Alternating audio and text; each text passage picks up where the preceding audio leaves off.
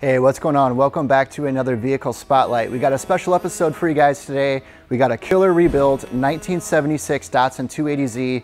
If you look at this thing, it's rebuilt from motor uh, to bodywork, suspension, exhaust, wheels and tires, ton of mods on this thing. Entirely too much for me to list off. So what I'm gonna do is we're gonna hand it over to our new guy, a familiar face, Alex Martinez from WCC Car Club. Uh, he's also a new member of the Fitment Inc. team, so we're gonna uh, kick it over to him, let him give you the rundown on this car. Let's check this thing out. team take this out, go the buses. All my niggas in this bitch causing a ruckus. Riding with your baby mama in a bucket. Like my phone on silent, girl, I'm out here buzzing. Niggas pocket watching, know I feel the envy. They seen it coming, so they try to end me. When that didn't to befriend me. But I ain't got the heart for being friendly. When you start making moves, they gon' try to troll you. Get some money, they'll start asking for the old you. Wolf on all streets, but baby, I'm a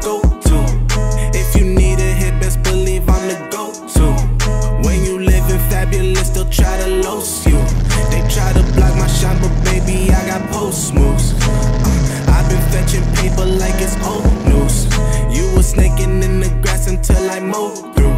Uh, boy, stop flexing, I don't even know you. You know my name, but you do not know what I go through. Yeah, call me out my name, boy, that's a bold move. You better have that same energy when I roll through. Best not see no subliminals when I scroll through. R200 vicious rear LSD with some headers, 16 gauge true 3 or 4 stay. I'm memorizing for the car because I don't remember everything that's in this. What's going on guys? My name is Alex. I'm here at Fitment Inc., Fitment Inc. TV, and this is my 1976 Datsun 280Z. So starting right off, we're gonna get into the wheels and tires. These are Atara Pisangs. Uh, these are 10 and a half uh, wide. They're 15 inches diameter. This is a 35 negative offset on Kumho Ecsta 225 50 15s. This is a square setup, meaning that the front and back are both the same. So there's no sort of staggered setup here.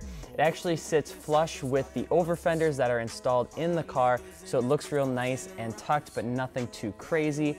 Uh, this is something where if you had the Brinkworth fender flares off of the car, it would be extremely pokey by about three inches or so. Uh, very cool setup. The front actually did require some light modification to the wheel to actually fit the hub bore. However, the rears did not require any sort of modification at all. So if you look at the car just in general, it does sit on Brinkworth over fenders. That is how you get that setup for a little bit of a wider tire. Without power steering, it can be a little bit of a pain to move around at slow speeds, but it is quite an aggressive setup. So you'll see also included is my uh, hood intake that actually is cut out of the engine bay. Uh, that is to fit the 355 supercharged V8 with forged internals. Also uh, CAD designed uh, hood intake as well as if we move forward to some shadow covers for the headlights as well as the polyurethane 240Z bumper that was retrofitted to the 280Z. Uh, the reason for the two-tone is just to give it a more aggressive JDM style uh, look and so that's what we accomplished with the black and white throughout the uh, car. So if we actually check out the back here, you're gonna see the same setup, like I said, square setup on the Ataras.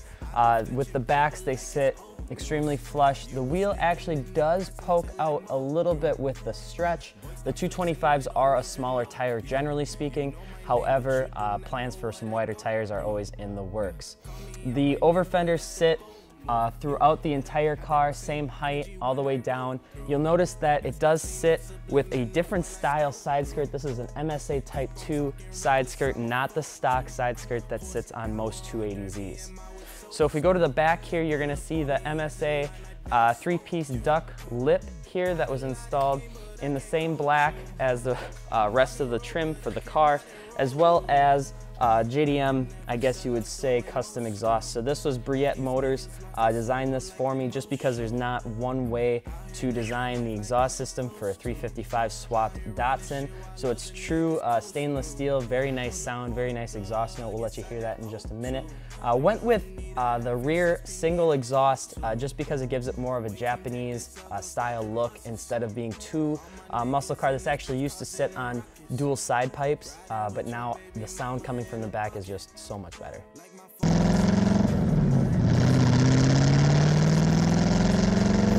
If we go and we actually check out the interior here a little bit, not a whole lot, but just enough to keep it drivable. So we sit on Intellitronix 5 gauge digital cluster.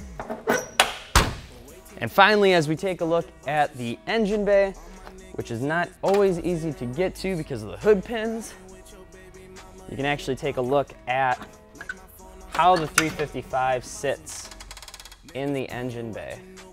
So you will notice that there is a ton of space in these 280Zs. 240 and 260Zs are notorious for engine swaps. Uh, RB25, 26, 1JZs are very common. Uh, V8s are extremely common as well. LS3, the most popular swap. However, with this, wanted to give it a little bit more of an old school look with old school cool. So we went with an old school 355 or 350 that was bored out slightly. You will still see that there is about six inches of clearance in the front of the car. That is what makes these cars so popular for engine swaps just because there's so much space uh, to really work with. Paired this up with a T56 six-speed transmission out of a Dodge Viper to get that sixth gear for cruising and of course uh, lots of fun in the first few gears. And then of course there are a couple other extra goodies that sit on the car just to make it go a little bit quicker. But we won't get into that a whole heck of a lot. Um, I hope you enjoyed this vehicle showcase. This is my first time, so if you didn't like it, I'm sure you'll let me know regardless. But this is my 1976 Datsun 280Z. Hope you enjoyed. We'll see you later.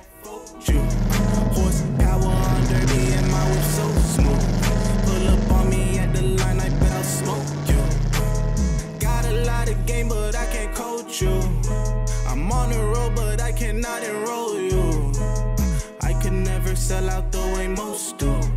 Half these niggas lost their soul.